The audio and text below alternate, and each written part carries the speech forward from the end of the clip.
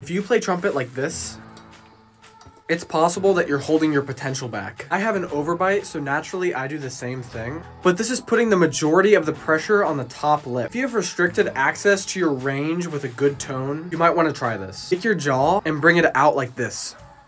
Now meet in the middle where your teeth are actually aligned. This will get support from both lips, which can help prevent overuse injuries.